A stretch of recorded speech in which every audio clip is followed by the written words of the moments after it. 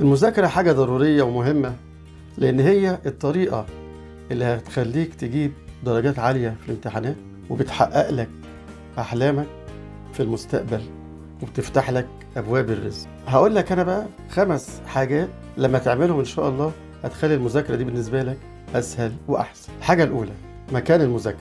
خلي مكان المذاكرة هادي ومتنظم نظيف جنبك كتبك وملازمك وأدواتك الكتابية. ابعد عن الدوشة زي التلفزيون والموبايل والألعاب.